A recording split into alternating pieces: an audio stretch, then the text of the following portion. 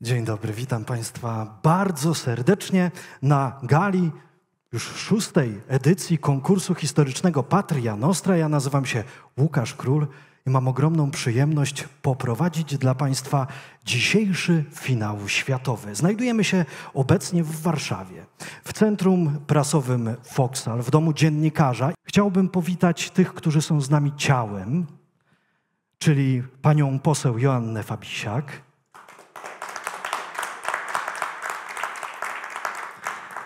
a także generała Józefa Melaka,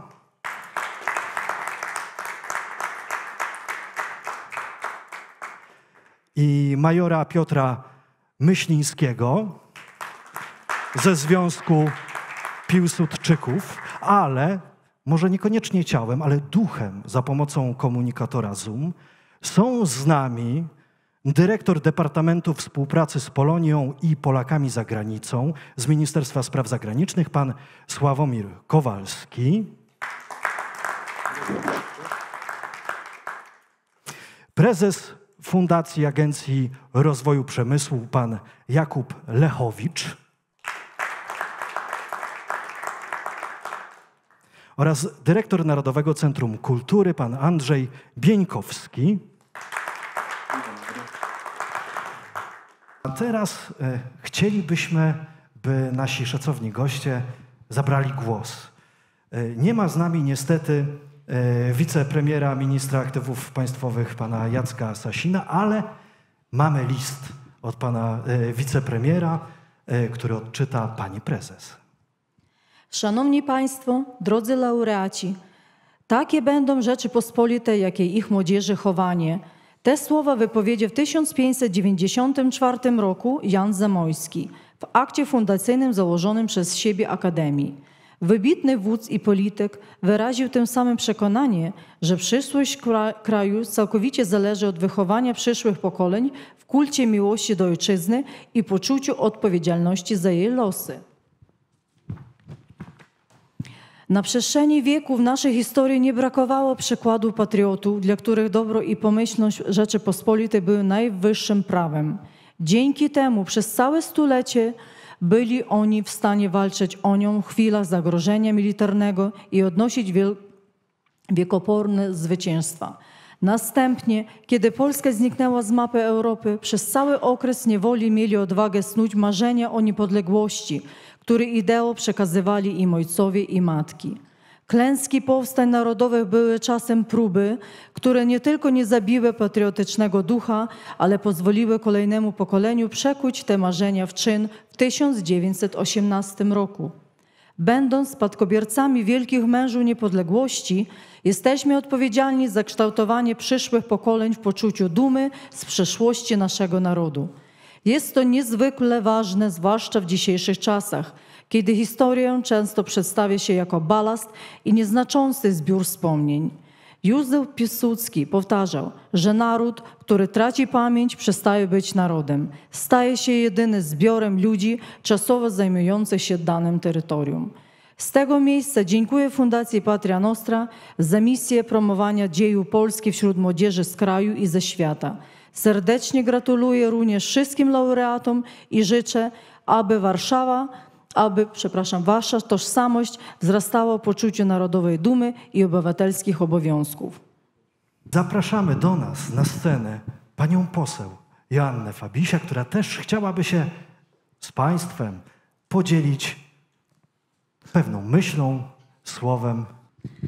Bardzo dziękuję za zaproszenie. Realizujemy bliźniaczy y, konkurs y, dla mm, młodzieży żyjącej poza granicami. Bo jeśli, jeśli się mieszka w Polsce, no to tak czy inaczej tę Polskę się postrzega, y, kocha i współtworzy. Jeśli się mieszka poza granicami Polski, to trzeba bardzo głęboko przemyśleć. Myśl jest najważniejsza. Przemyśleć, kim się jest. Co to znaczy być Polakiem, gdy się mieszka za granicą, ale także obywatelem świata, bo przecież jesteśmy w Europie, jesteśmy zakorzenieni, w świecie także, poprzez własny wkład.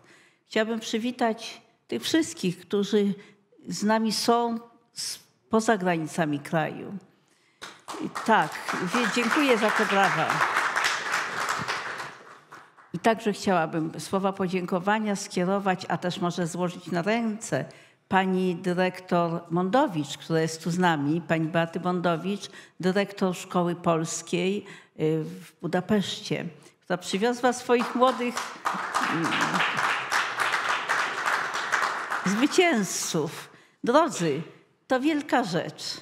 Mieszkacie poza Polską i korzystacie pełnymi garściami z kultury, która jest wam życzliwa, a jednocześnie nie zapominacie, myślicie o Polsce. Jesteśmy z was dumni.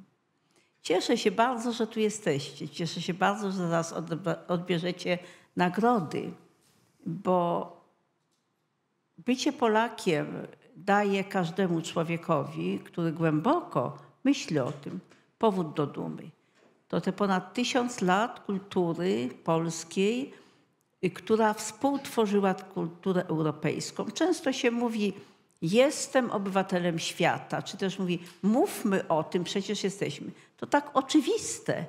Współtworzyliśmy Europę, Europę chrześcijańską, która wywodzi się, jak doskonale wiecie, y, z filozofii greckiej, z prawa rzymskiego i z chrześcijaństwa. I my tę cywilizację nasi przodkowie tworzyli. My ją także tworzymy. I na razie nikt nic innego i lepszego nie zaproponował, a więc jesteśmy na pewno Polakami, na pewno obywatelami Europy, którą stworzyliśmy, i, Euro, i obywatelami świata. Bo Polacy, gdzież jest takie miejsce, gdzie nie ma Polaków? Gdzież jest takie miejsce, gdzie Polacy nie wnieśli swojej genialnej myśli? Zatem naprawdę mamy wielkie powody, by czuć się dumnymi, a mówię to do Was, bo jesteście jeszcze młodzi i warto, że tworzycie te filmy.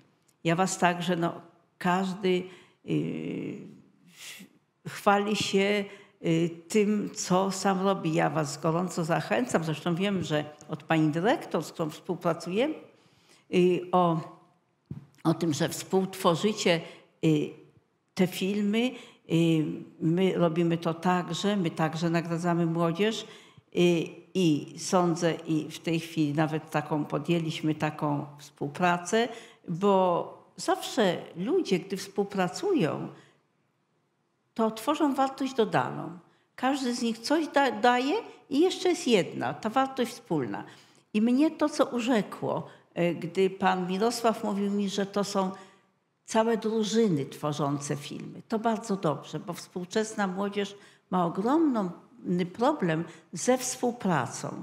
Ten, to zamknięcie w komputerze, w moim komputerze i ta przyjaźń do komputera często ogranicza możliwość tej współpracy. I ja się bardzo cieszę, że w tym konkursie potraficie współpracować. I nie wątpię, że współpracować na rzecz promocji Polski, dobrego imienia Polski w świecie i, i naszej pięknej historii. Zatem dziękuję za zaproszenie. Gratuluję zwycięzcom, bo rozumiem, że przed nami zwycięzcy. Gratuluję wszystkim uczestnikom tego konkursu i życzę w tej nowej edycji, żeby każdy był zwycięzcą, a tak naprawdę to tak przecież jest. Dziękuję bardzo. Chcielibyśmy tutaj podziękować wszystkim naszym patronom, mecenasom, fundatorom, sponsorom za wsparcie finansowe, za ufundowanie nagród. Polski Instytut Sztuki Filmowej. Podziękowanie dla zarządu za wsparcie realizacji szóstej edycji konkursu Patria Nostra. Fundacja Edukacja dla Demokracji. Podziękowanie dla zarządu za wsparcie realizacji szóstej edycji konkursu Patria Nostra. Oficyna Kucharski. Podziękowanie dla zarządu za wsparcie realizacji szóstej edycji konkursu Patria Nostra. Filmoteka Narodowa. Podziękowanie dla zarządu za objęcie patronatem honorowym i ufundowanie nagród.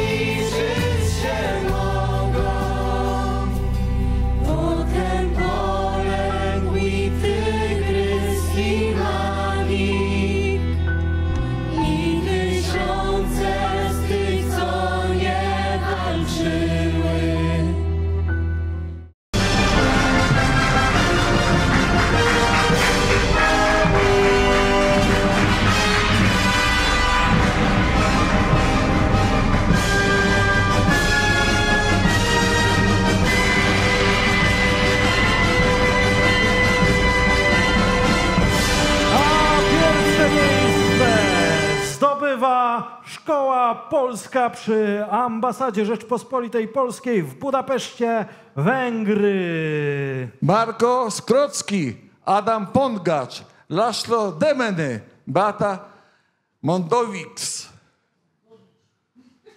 Brawo!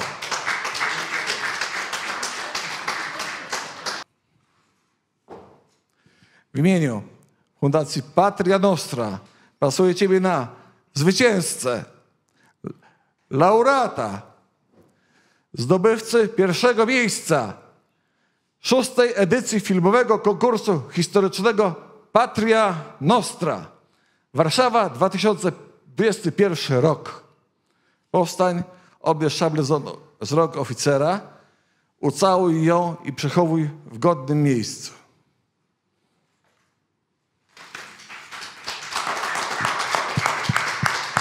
No cóż, e, to nie koniec e, nagród dla Was, jako że nagrody finansowe w wysokości 1000 zł dla każdego członka drużyny, e, ufundowane przez Narodowe Centrum Kultury oraz Ministerstwo Kultury i Dziedzictwa Narodowego przekazuje na Wasze ręce Pani Natalia Wojnic, prezes Fundacji Patria Nostra.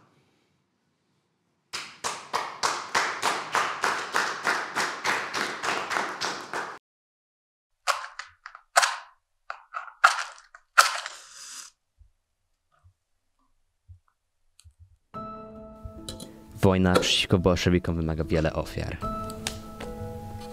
Nasze armie już się przygotowują na bitwę pod Samotkiem. Lewa. Lewa.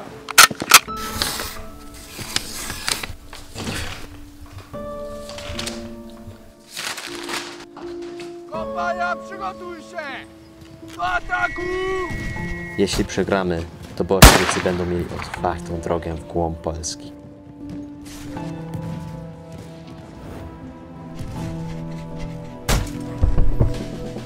Nie!